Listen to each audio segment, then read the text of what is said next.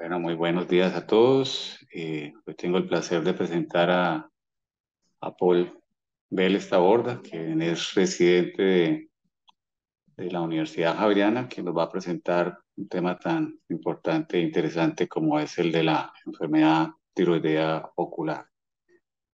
Eh, adelante, Paul. Bueno, doctor, muchísimas gracias. Eh, como mencionaba el doctor, mi nombre es Paul Vélez Taborda, yo soy residente de primer año del programa de oftalmología de la Pontificia Universidad Javeriana C de Cali y hoy vamos a abordar un tema sin duda alguna de gran trascendencia que es la enfermedad tiroidea ocular. Este es el contenido que les ofrezco para la mañana de hoy. Inicialmente una introducción breve con una explicación de la patogénesis para poder entender a fondo esa epidemiología, esos factores de riesgo y las características clínicas Posteriormente hablar cómo abordar a estos pacientes, cómo realizar el diagnóstico, cómo evaluarlos, cómo tratarlos y finalizar con unas conclusiones. Entonces, iniciemos hablando que la enfermedad tiroidea ocular a lo largo de las búsquedas de literatura se va a presentar de diferentes maneras, como lo es el término orbitopatía tiroidea, oftalmopatía tiroidea e inclusive oftalmopatía de Graves. Sin embargo, es el término enfermedad tiroidea ocular el que deberíamos eh, usar para denominar esta enfermedad, la cual es una enfermedad autoinmune de la órbita de los tejidos retrooculares y sin duda alguna va a estar más presente en los pacientes con enfermedad de Graves, por eso el nombre de oftalmopatía de Graves, pero también lo podemos encontrar en otras presentaciones clínicas, como por ejemplo la esteroiditis de Hashimoto. Básicamente es un agrandamiento de los músculos extraoculares, de la grasa y del volumen tejido conectivo que se encuentra alrededor entonces de este globo ocular.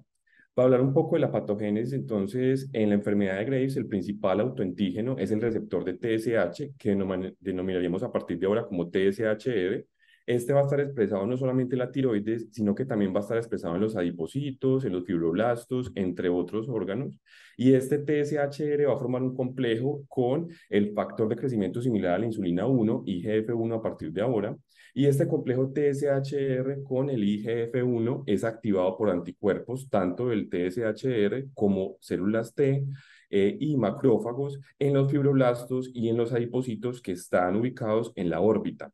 Esto conlleva que se dé una expansión celular y un proceso de inflamación crónico. Entonces, básicamente este esquema eh, muestra lo que les acabo de comentar. Entonces, tenemos unas células T, tenemos unos anticuerpos contra el receptor de TSH y tenemos unos macrófagos que van a activar directamente ese receptor eh, para TSH y ese IGF-1 en el fibroblasto y va a desencadenar una serie de em, de moléculas y de escalas que van a conllevar entonces a esa proliferación de eh, orbitarios que van a crecer, que van a agrandarse, se inicia esa expansión celular que va a conllevar a los síntomas que nosotros evidenciamos en nuestros pacientes.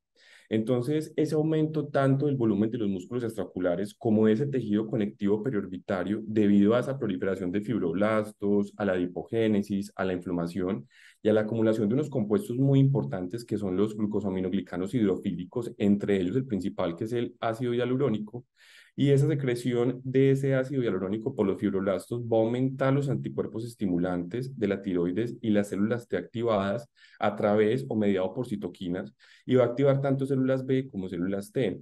Esta acumulación de esos eh, glucosaminoglicanos hidrofílicos va a acumular líquido, inflamación muscular, va a haber aumento de la presión eh, intraorbitaria y está sumado a la hipogénesis que produce todo este proceso, va a desplazar el globo ocular hacia adelante, provocando la disfunción de los músculos extraoculares, el deterioro del drenaje venoso y esto va a conllevar entonces a todo ese proceso de inflamación orbital. Histopatológicamente, esto es lo que se observa en toda esta parte fisiopatológica y es que hay un músculo, en este caso de recto superior, en un paciente con oftalmopatía de Graves eh, específicamente, hay unas fibras musculares que están rotas, con pérdida de las estrías, fragmentadas y con una importante infiltración, como ustedes lo ven, de células T eh, que demuestran entonces el componente inflamatorio. Básicamente lo que vamos a observar de manera macroscópica es en este caso una anatomía completamente normal, unos músculos de un tamaño normal, la grasa preorbitaria completamente eh, normal. Pero en este caso vamos a observar como en la enfermedad tiroidea observamos esos mientres musculares mucho más engrosados, eh, la grasa preorbitaria que está aumentada y un ojo que está entonces llevándose a la proptosis. Hay tres componentes muy importantes en esta patogénesis, entonces ya hablábamos de ese antígeno de la enfermedad eh, ocular tiroidea, que es el TSHR, los anticuerpos contra el TSHR y las células T. Y también, pues en una, cuarta medida, la genética va a jugar un papel muy importante. Entonces, hablando específicamente del antígeno en la enfermedad ocular tiroidea, se expresan los fibroblastos orbitarios y formas de complejo que hablábamos con el IGF-1, esa expresión de TSHR va a ser mayor en los pacientes que, con tejidos orbitarios de enfermedad de Graves en comparación con lo que se encuentra en otros lugares. Y este complejo de TSH activa directamente el sistema inmunitario y va a ser potenciado también por el estímulo de otras células como las células inflamatorias locales o directamente por los anticuerpos contra TSHR. Estos anticuerpos contra TSHR eh, activan pues, los que se encuentran en los fibroblastos y en los adipocitos orbitarios, se ligan fuertemente a el factor de crecimiento similar a la insulina 1 y inician todo este ambiente inflamatorio alrededor de la órbita.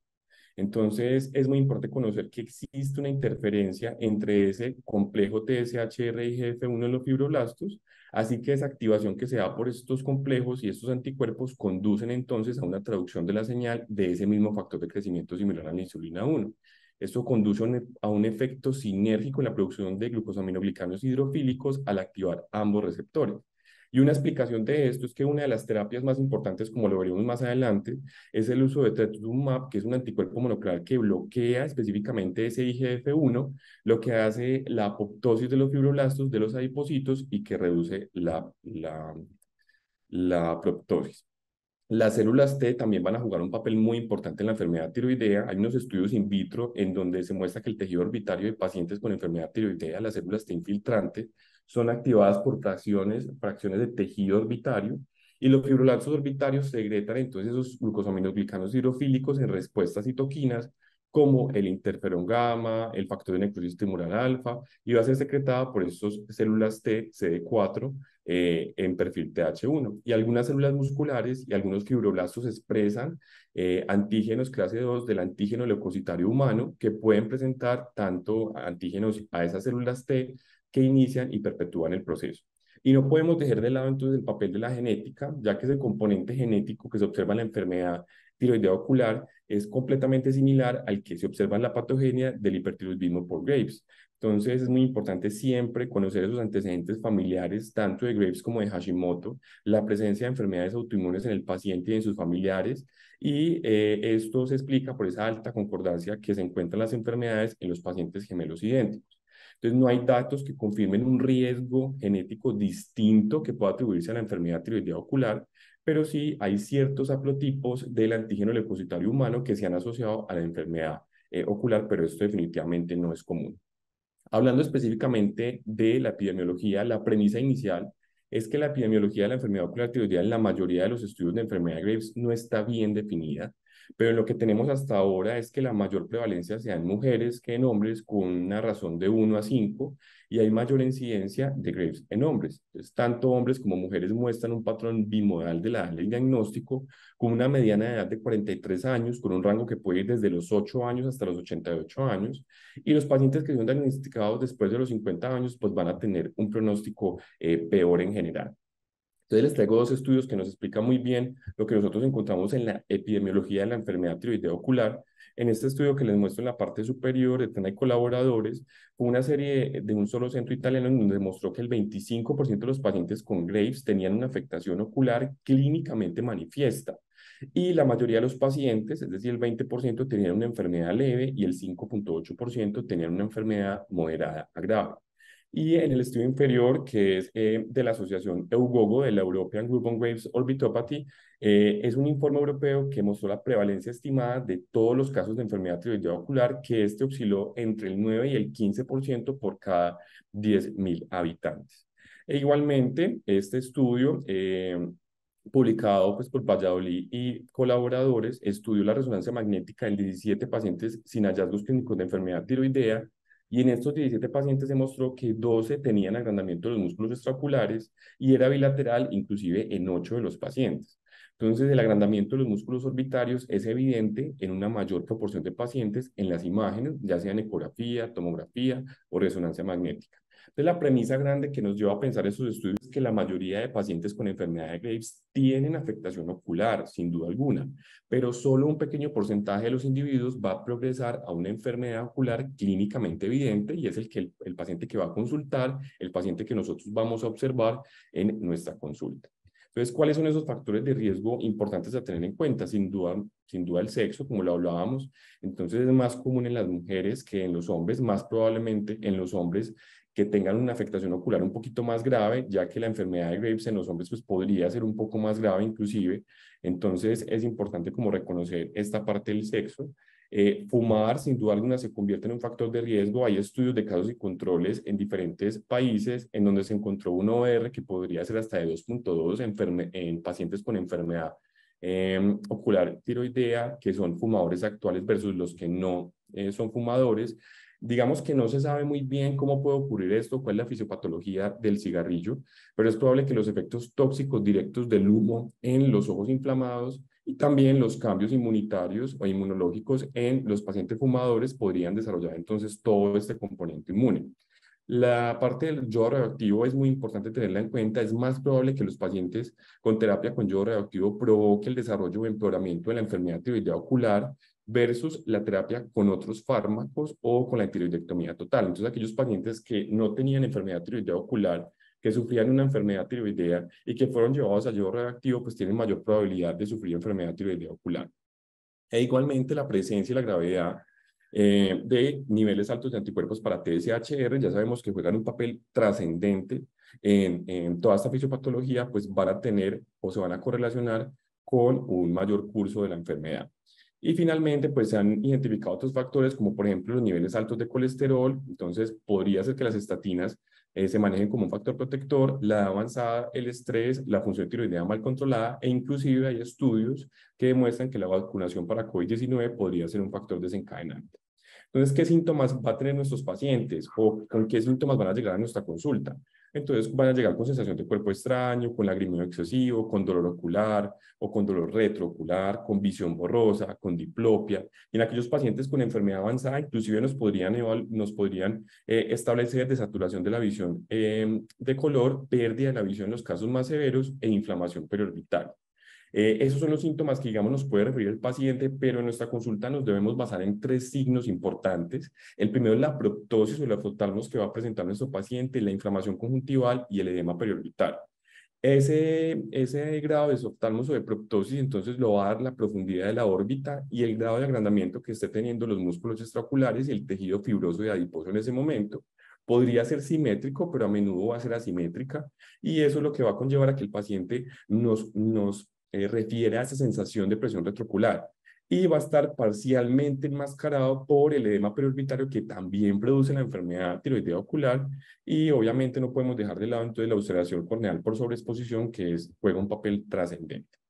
Entonces a la hora de tener nuestros pacientes enfrente, hay unas características, unos signos que debemos tener en cuenta derivados de esos tres principales. Es importante reconocer cómo está la retracción palpebral en nuestros pacientes, determinando la distancia del margen al reflejo 1 y 2. La distancia al margen al reflejo, que vamos a llamar MRD1, se mide desde el borde libre del párpado superior hasta el reflejo, se toma la medida, e igualmente el MRD2, que el margen al reflejo 2, desde el reflejo hasta el borde libre del párpado inferior. Entonces, todos los pacientes o la mayoría de los pacientes van a presentar entonces retracción palpebral y es importante que establezcamos numéricamente eh, cuánto es esta retracción palpebral. También tenemos la retracción del párpado, que es el signo de Darlimpon. Entonces, este es el signo, digamos, más frecuente en nuestros pacientes. Se va a presentar hasta el 90% de los pacientes que nosotros identifiquemos clínicamente enfermedad tiroidea ocular. También podemos tener el signo de Kocher, que básicamente son esos pacientes con una mirada fija y atemorizada. Podemos tener el signo de von que básicamente es la retracción palpebral del párpado superior, cuando le pedimos al paciente que mire hacia abajo. Entonces, el paciente mira hacia abajo y observamos cómo la retracción del párpado superior se da, y esto se acompaña de edema palpebral. Tenemos también el signo de que básicamente es la inyección conjuntival asociada a la enfermedad tiroidea ocular. Y también nos podemos olvidar de aquellos pacientes que presentan entonces queratopatía por exposición, que básicamente se debe a esa retracción palpebral intensa que pueden tener nuestros pacientes y que hacen que eh, conlleve entonces a una sintomatología grave y muchas veces el paciente puede consultar eh, por estos signos, por los eh, síntomas que les expresé, asociado también inclusive a visión borrosa, disminución de la agudeza visual, causada por entonces esa misma queratopatía por exposición. Eh, los músculos extraoculares van a ser afectados de medida, en una medida diferente, o sea, no van a ser afectados generalmente de manera simétrica. Para esto les traigo esta memotecnia, que es la memotecnia and slow. Eso significa que el primero, que es el AIM, pues va a ser el recto inferior el que va a ser afectado en primera medida, luego el recto medio, luego el superior, luego el recto lateral y el oblicuo.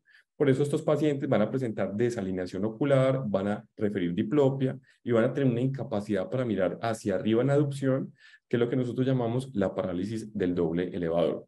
Son muchos signos, inclusive miren la tabla que les presento, definitivamente podríamos quedarnos toda la mañana hablando de los signos de la enfermedad tiroidea ocular, pero digamos que los que les mencioné son los que más, podríamos ver en nuestra consulta y, los cuales deberíamos estar pues, muy atentos a ellos, pero miren que cada uno de los aspectos de la órbita pueden tener signos diferentes que podemos encontrar en nuestros pacientes. ¿Cuál es el curso clínico que van a seguir nuestros pacientes? Entonces hay una fase inicial esa fase inicial va a ser la fase inflamatoria que puede durar entre 6 y 18 meses con signos orbitarios y perorbitarios. Los pacientes se van a quejar de proptosis, de retracción. Posteriormente vamos a pasar a una fase estática. Esas fases estáticas se van a empezar a dar una disminución de la fase inflamatoria y va a haber una mínima mejoría de nuestros pacientes. Y llegamos a una fase de reposo en donde va a haber una mejoría gradual eh, con mejoría de la motilidad, pero va a persistir entonces esa retracción. Toda esta, esta presentación clínica va a seguir un patrón que es la curva de Rondul. Esta curva de Rondul nos muestra que hay una fase dinámica en donde se van a presentar todos esos fenómenos inflamatorios que va a durar más o menos unos 6, 18 meses. Van a presentarse entonces los signos inflamatorios e idealmente el paciente va a consultar en esta época. Luego vamos a pasar a una fase estática. Esa fase estática entonces hay una mejora inflamatoria, pero van a persistir los síntomas porque esa mejoría sintomática van a ser muy leve y llegamos a una fase estática en donde va a haber una mejoría gradual, pero definitivamente ya se va a presentar entonces la retracción de los músculos. No nos podemos olvidar de la neuropatía óptica compresiva que pueden presentar estos pacientes. Sin duda alguna es una enfermedad, una emergencia ocular que va a ocurrir afortunadamente en menos del 5% de los pacientes. Ellos van a tener una pérdida visual fulminante lentamente progresiva y ocurre debido entonces a, los, a la compresión de los rectos y la grasa orbitaria, este va a presentar un síndrome compartimental de vértice en la órbita. Los pacientes van a presentar disminución de la agudeza visual, visión de color alterada, sensibilidad al contraste alterada y van a tener un defecto pupilar aferente relativo presente. Y el campo visual, entonces podemos tener defecto de las de fibras nerviosas central, coco central y también paracentral. Y el nervio óptico lo podríamos encontrar completamente normal en el fondo de ojo o con algo de edema o palidez. ¿Qué vamos a encontrar nosotros en los exámenes de laboratorio? Entonces, no existe un marcador específico de la enfermedad tiroidea ocular y la mayoría de los pacientes, la afectación ocular va a ocurrir en el contexto del hipertiroidismo de Graves, que va a estar presente o que va a ser pasado. Entonces, estos pacientes van a presentarse con una TSH baja, con una T4 libre alta y una T3 libre alta. El 10% de los pacientes hipotiroidismo va a estar ausente y los pacientes que definitivamente no tienen alteración en estas pruebas lo vamos a llamar como un Graves eutiroideo que pueden tener concentraciones altas de los anticuerpos que vimos que juegan un papel muy importante. Y a veces puede ocurrir en pacientes con hipotiroidismo, es decir, que tengan una TSH alta, una T4 libre baja, debido a las tiroiditis autoinmunes, como por ejemplo la tiroiditis de Hashimoto. Los pacientes con anticuerpos estimulantes del receptor TSHR eh, podrían tener una reserva tiroidea inadecuada y suele haber una relación temporal entre la enfermedad tiroidea ocular y la aparición del hipertiroidismo. Entonces va a aparecer antes del hipertiroidismo en el 20% de los pacientes, al mismo tiempo en el 40% y eh, posterior en el 20%. Y el resto se va a manifestar eh, al inicio del tratamiento, especialmente en aquellos pacientes que fueron tratados con yodo radioactivo. Con respecto al diagnóstico, sin duda alguna va a ser clínico. Nosotros vamos a ver que sus pacientes presentan proptosis, edema perorbitario y hipertiroidismo y ahí va a estar entonces el diagnóstico. Se debe diferenciar muy bien la enfermedad tiroidea ocular de los signos oculares debidos a el exceso de hormona tiroidea. Entonces estos pacientes con exceso de hormona tiroidea podrían presentar retracción del párpado, podrían tener mirada fija, pero no van a tener proptosis. Y esa es la principal diferencia entre la enfermedad tiroidea ocular establecida y estos excesos de, hormona tiroidea. Entonces, esos signos van a estar más presentes en la enfermedad tiroidea ocular y van a desaparecer cuando se trata del hipertiroidismo. Y la enfermedad ocular tiroidea unilateral es de difícil diagnóstico, se presenta en ausencia de una disfunción tiroidea y se debe diferenciar de lesiones ocupantes de espacio. Sabemos que la mayoría van a ser bilaterales, pero entonces en esos pacientes unilaterales deberíamos tener una sospecha diagnóstica muy amplia de diagnósticos diferenciales, como cuáles la celulitis orbitaria, la obesidad severa, el síndrome de Cushing, la miositis orbitaria, la histiocitosis, la miastenia gravis y los tumores orbitarios, inclusive las metástasis de órbita, e inclusive también tener en cuenta las miopatías del músculo estacular inducido por algunos fármacos. ¿Cómo vamos a evaluar a nuestros pacientes? Entonces, nuestros pacientes van a tener tres pilares fundamentales para poder ser evaluados los exámenes de laboratorio, el examen oftalmológico y la evaluación de la actividad y la gravedad de la enfermedad. Inicialmente con las pruebas de laboratorio, generalmente los pacientes van a llegar a nuestra consulta ya con exámenes, pero si definitivamente no los tienen, somos nosotros los oftalmólogos quienes debemos enviarlos. TSH, T4 libre, T4 totales, anticuerpos de receptor TSHR, y el TSHR va a ser el que confirme el diagnóstico, evalúa la gravedad de la afección y puede inclusive manifestarse como un medidor de pronóstico y evaluar la respuesta al tratamiento en un futuro. Entonces, siempre debería enviarse. El examen oftalmológico entonces debería hacer una inspección del tejido periorbitario, evaluar la conjuntiva, si hay inyección conjuntival, si hay quemosis, si hay hemiorbitario. Hay que determinar la medida eh, del margen al reflejo 1 y 2, es muy importante siempre tenerlo presente, evaluar el rango de motilidad o inmovilidad de los ojos y la medición del grado de proptosis a través de la oftalmometría, y sin duda alguna entonces debemos evaluar de manera muy rigurosa la agudeza visual, la visión de colores y el campo visual por confrontación en nuestros pacientes. Todo paciente con esoftalmometría de Grace que nosotros observemos, pues deberíamos hacer una esoftalmometría. Para eso entonces se requiere lo que les presento en la diapositiva, que es un heptoftalmómetro de Hertel. Básicamente es un instrumento que está construido por un eje milimetrado ese eje milimetrado se apoya mediante dos soportes laterales en los que se apoyan en los rebordes orbitarios y estos soportes van a estar dotados por un sistema de espejos que van a proporcionar visualizar de manera simultánea el ápex corneal y la escala milimetrada. Así se puede hacer entonces la medición de nuestros pacientes. Entonces, punto a punto, luego de tener el oftalmómetro de Hartel, lo segundo es que se va a confirmar que haya indemnidad frontocigomática. Entonces, inicialmente es una palpación de nuestros pacientes en el proceso frontocigomático y evaluar que definitivamente esté endemne para poder realizar entonces esta medición o si no tendríamos entonces unas falsas mediciones.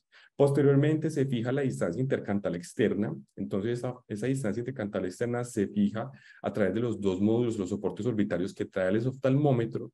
Eh, normalmente lo vamos a encontrar entre 110 milímetros, pero en el caso de esta paciente, por ejemplo, tenemos 115 milímetros.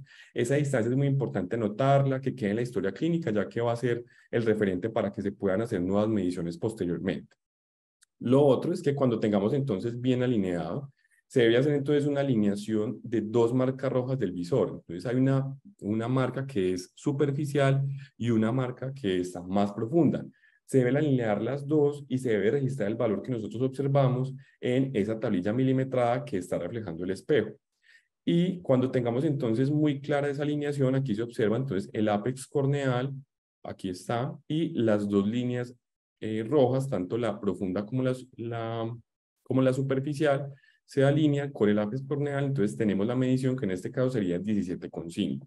Y lo segundo entonces sería realizar el ojo contralateral, que en este caso nuevamente alineamos el ápex corneal con las dos líneas y tenemos una medición de 18.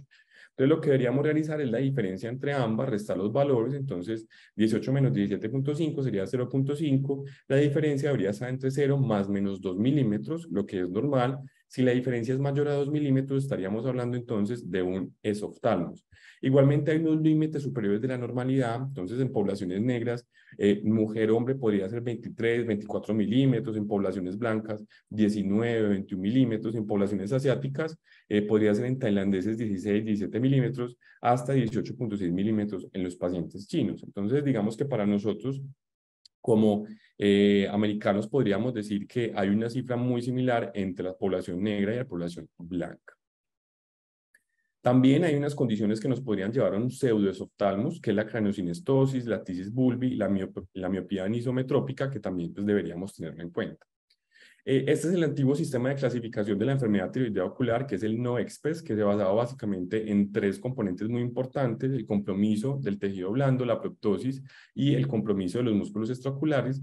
Sin embargo, esta es una escala que no se usa ya con frecuencia y solamente se eh, incluye en algunos estudios clínicos. Esta es la, escala de gravedad de, de, enfermedad tiroidea ocular de la UGOGO.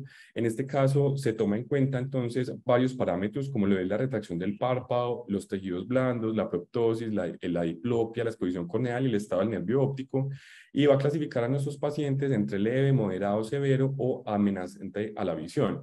Entonces, si observamos como, por ejemplo, el paciente leve, entonces van a ser pacientes cuyas características tienen un impacto menor en la vida diaria, generalmente va a ser insuficiente para justificar un tratamiento inmunosupresor y menos un tratamiento quirúrgico, pero ya tenemos entonces los pacientes como, por ejemplo, como una amenaza a la visión, que definitivamente el papel más importante va a ser llevar a una cirugía rápida de descompresión. Entonces, como todo el espectro que podemos presentar en nuestros pacientes, y esta escala sin duda alguna es una de las más utilizadas y las que debemos conocer. También tenemos la actividad, eh, la, la escala de actividad de la enfermedad CAS, Clinical Activity Score, básicamente eh, nos muestra diferentes elementos que deberíamos chulear, ya sea en cada visita en comparación con la visita anterior, y nos da un puntaje. Entonces podría ser inclusive la sensación de, de un cuerpo o dolor detrás del ojo. Retocular nos podría dar entonces un punto si es en cada visita, un punto si está en comparación con la, la visita anterior. Y definitivamente aquellos pacientes que tengan un score mayor o igual a 3, entonces nos habla que definitivamente la enfermedad está activa en ese momento y que es muy importante para basarnos en el tratamiento. Y tenemos también una de las escalas más competitivas, que es la escala eh, BISA, que es de International eh, Eye Disease Society, que básicamente establece cuatro parámetros, que es la pérdida visual, la neuropatía óptica, la inflamación y la congestión y la actividad, el estrabismo y la motilidad y la apariencia de exposición, y son 20 ítems para cada uno de estos cuatro, em, de estos cuatro pilares, y nos va a establecer entonces cómo se está presentando el paciente tanto en la gravedad de la enfermedad como en su actividad. Eh, en la diapositiva les dejo como el link, también se los puedo compartir más adelante, es de libre pues como descarga, uno puede descargar como estos parámetros, puede tenerlo en su consultorio y podría hacer pues como el chequeo de esos beta ítems para determinar entonces la actividad de nuestros pacientes. Entonces, las imágenes también juegan un papel muy importante. Eh, deberían incluirse siempre entonces imágenes de referencia que son la tomografía sin contraste y la resonancia magnética nuclear. Estos nos van a ayudar a evaluar el riesgo de compresión futura del nervio óptico por el músculo extraocular agrandado en el vértice de la órbita. Eh, nos va a medir de manera independiente la proptosis y la acumulación de la grasa orbitaria. Va a ser útil sin duda alguna en el diagnóstico diferencial y lo que nosotros podríamos utilizar es el TAC sin contraste o recurrir a la resonancia magnética. Hablando específicamente de la ecografía ocular, pues eh, nos va a permitir entonces hacer una exploración de bajo costo en el paciente, sin hacer radiación, eh, va a ser accesible al oftalmólogo, pero sin duda alguna tiene las desventajas que tiene toda la ecografía, es que básicamente requiere una experiencia y que pues no va a reportar muy buenas imágenes del tercio posterior de la órbita, entonces ahí se pierde entonces esa ecogenicidad, se va, digamos, dando esa atenuación de los tejidos y no nos permite como evaluar esto. Sin embargo, si tenemos un ecografista experimentado, lo que se podría observar es el engrosamiento de los, vientres musculares a expensas de un tendón que se encuentra completamente normal, como se observa entonces allí en esta imagen. También podríamos tener las tomografías. Las tomografías se deberían realizar sin contraste. En este corte coronal entonces se observa cómo se da un engrosamiento de los vientres musculares, especialmente del superior, inferior y el eh, medio, no tanto el lateral. Y vemos en el ojo izquierdo que definitivamente, inclusive el grosor de los vientres musculares es tan amplio que se confunden entonces allí en, en, esta, en esta imagen. También tendremos aquí en este corte, un corte axial que nos muestra entonces el engrosamiento de los músculos vientres, en este caso de los medios, tanto izquierdo como derecho, un poquito más del derecho. En este corte axial, pues con una técnica no tan buena, entonces se observa sin duda alguna también el engrosamiento del vientre muscular.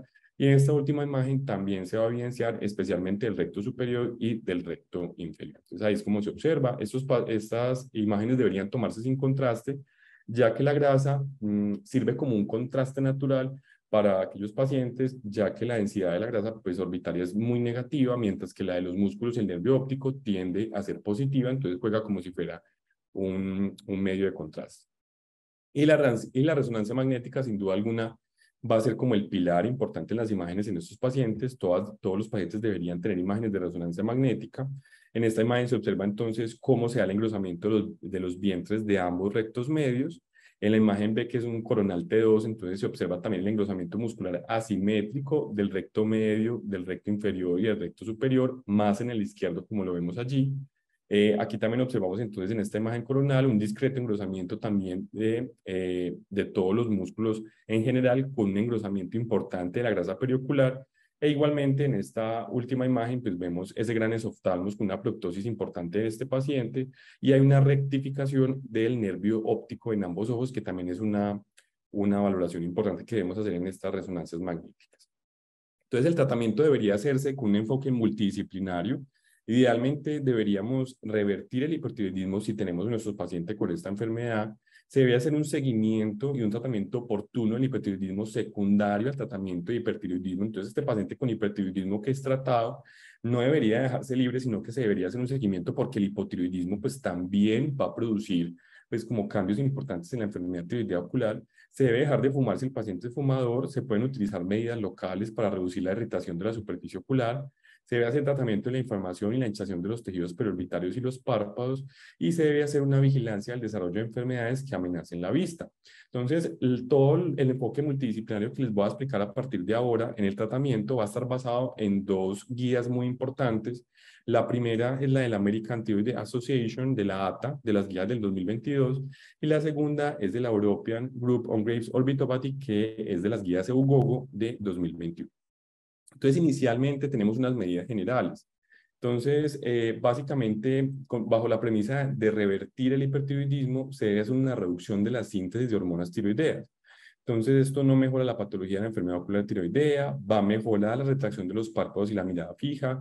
El hipotiroidismo secundario al tratamiento causa retención de líquidos y es un, evento adverso, por eso esos pacientes que son llevados al hipotiroidismo post-tratamiento deberían vigilarse después para poder hacer un, tratamiento óptimo de este hipotiroidismo.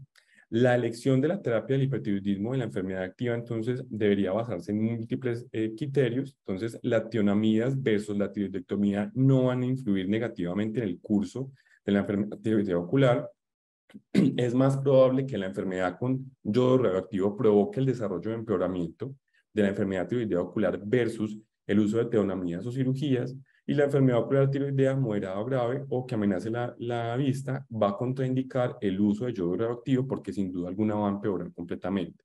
Entonces hablemos inicialmente de esa enfermedad tiroidea ocular que es moderada basada en las escalas que ya vimos anteriormente, que es severa o que amenaza la visión. Entonces es una enfermedad ocular activa, con gravedad moderada, severa o que amenaza la visión.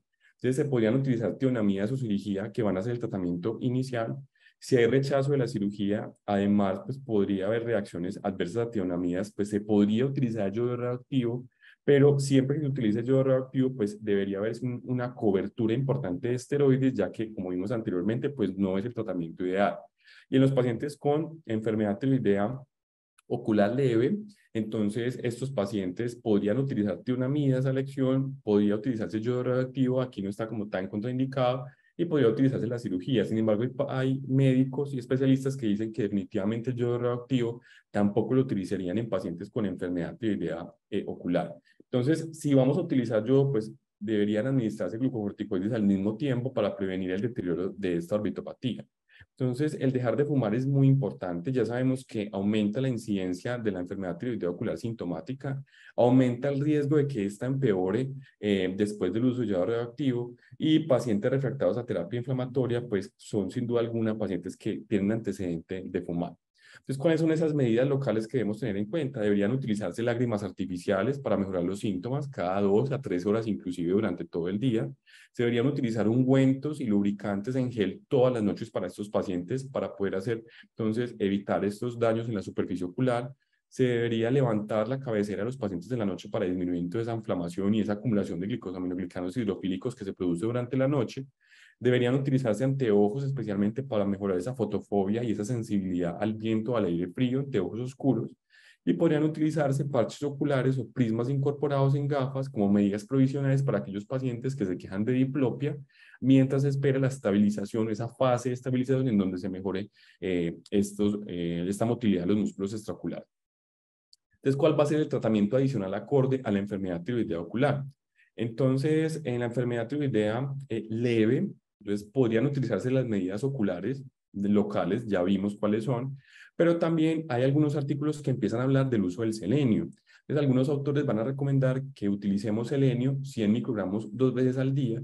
Sin embargo, otros no lo recomiendan, ya que pues, solamente debería utilizarse en aquellas áreas donde haya deficiencia y en Estados Unidos, por ejemplo, hay área repleta, entonces definitivamente no se debe utilizar. Entonces, este es uno de los estudios más importantes, fue publicado en 2011 en el New, New England eh, Journal of Medicine. Básicamente se hizo pues, un ensayo controlado, doble ciego, en donde se les administró a los pacientes 100 miligramos cada 12 horas durante seis meses y hubo una mejoría significativa del edema en los tejidos blandos y de las medidas de calidad en los pacientes con base en los resultados entonces de este estudio, las guías de Ugogo incluyen el tratamiento con selenio para los pacientes que tengan una orbitopatía leve y activa durante un ciclo corto.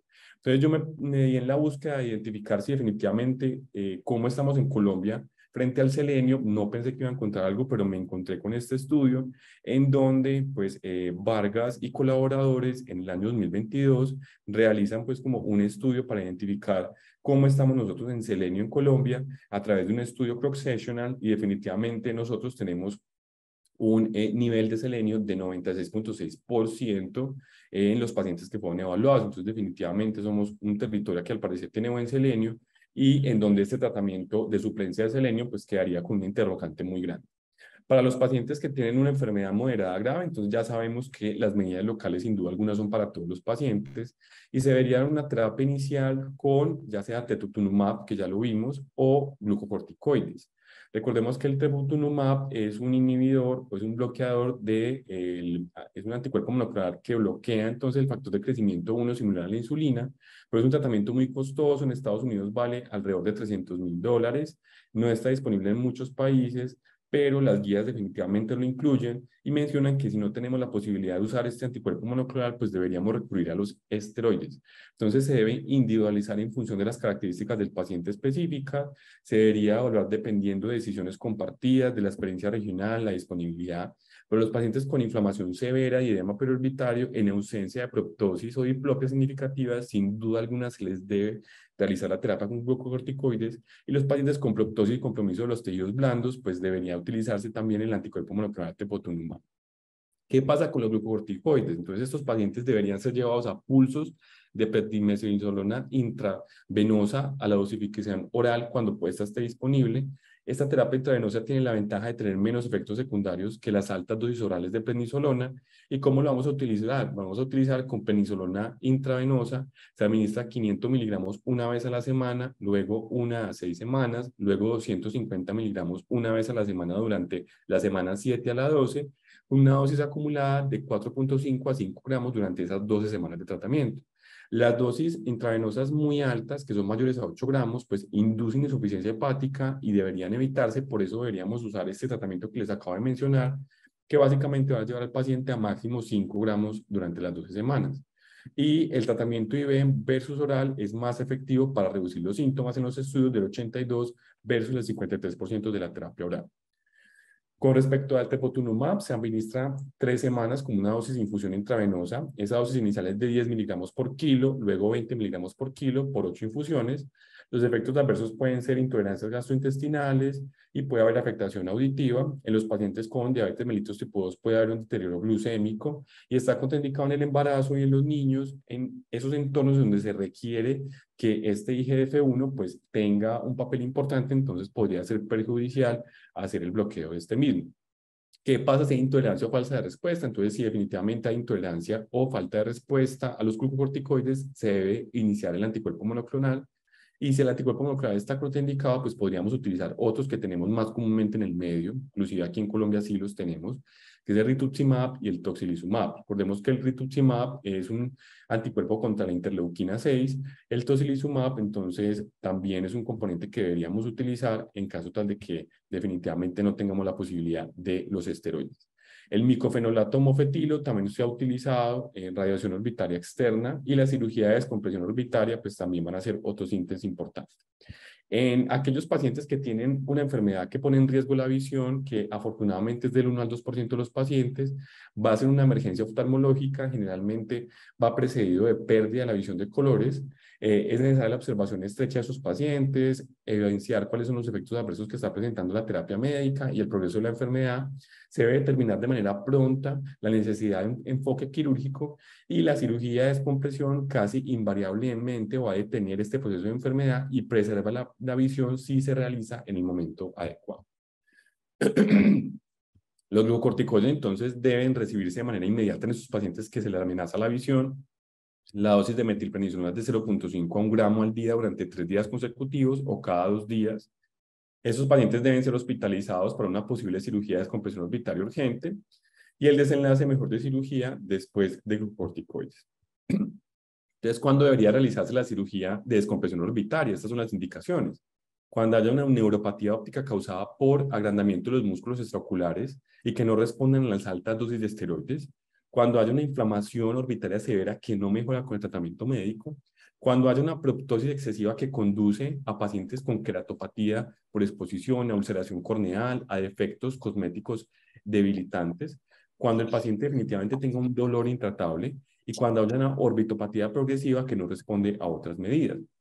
Entonces, definitivamente, eh, la órbita podría descomprimirse de diferentes maneras. Eh, podría descomprimirse quitando la pared lateral y el techo o la pared medial y el suelo.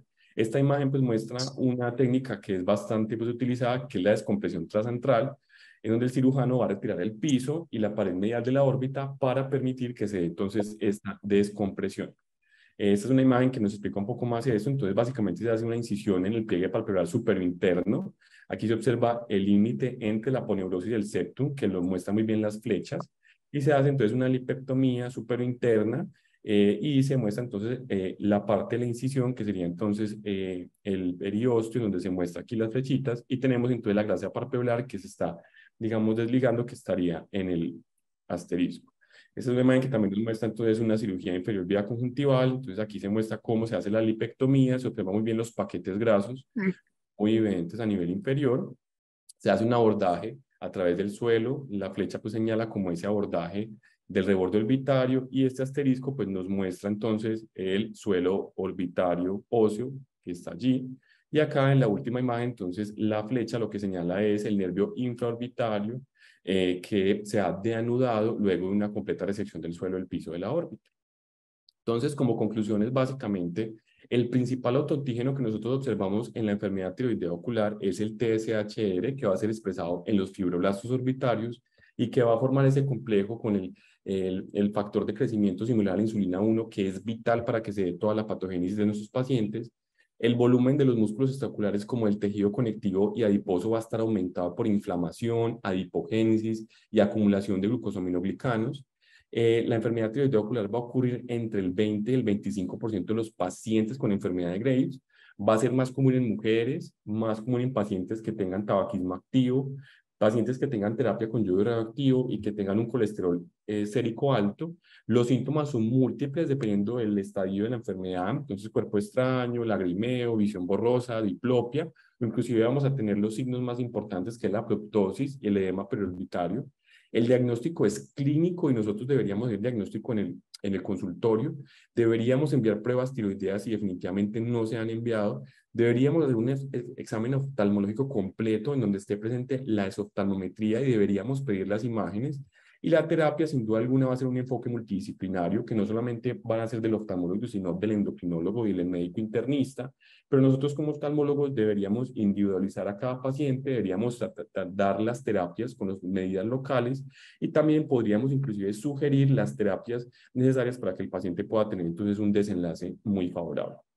Bueno, muchísimas gracias. es lo que traía para esta mañana.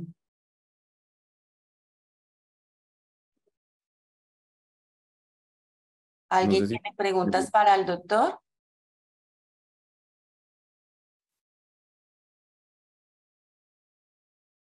Doctor, en el chat no tengo preguntas. Listo, perfecto. No sé si de pronto alguno tiene alguna pregunta, algún comentario. No. Excelente, Paul, te felicito. Excelente charla. Muchísimas gracias, Doc. Muchas gracias. Doctor, muchísimas gracias Listo, por compartir con nosotros este maravilloso tema. Gracias Bueno, a las demás personas por acompañarnos y que tengan un excelente día. Un feliz día para todos. Hasta luego. Hasta luego, doctor. Mira.